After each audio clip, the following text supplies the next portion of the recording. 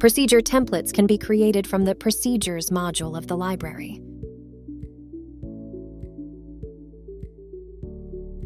Click the New Procedure Template button and select Blank Procedure to open the editor. In order to start creating a procedure template, we must first give it a title. Keep in mind that we are creating a template that could be included on different kinds of work orders, so make the title only as specific as it needs to be for all of the procedure's intended uses.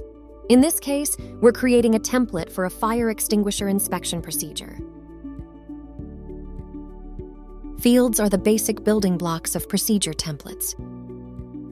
Fields take an input from the person completing the work order in which the procedure is included.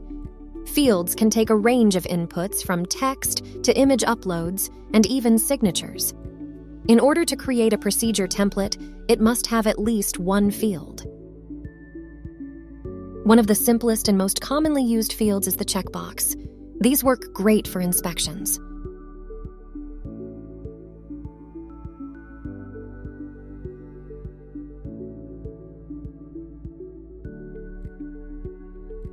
We can attach images to fields to provide guidance to those following the procedure. We can use headings and sections to add structure to longer procedures so they are easier to follow.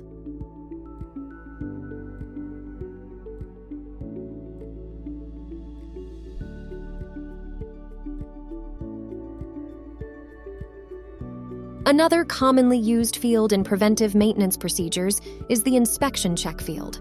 This field gives technicians the option to pass, flag, or fail the procedure.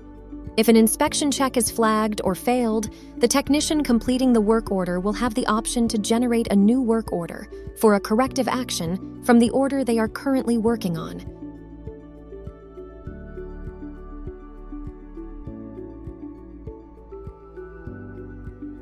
On the Settings page, we can associate the procedure template with specific assets and locations, which makes it more discoverable when filtering procedure templates.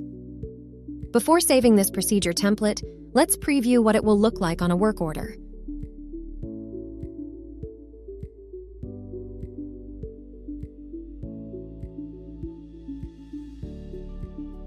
Once we've saved the template, it appears in our procedure library and is available to be included on work orders.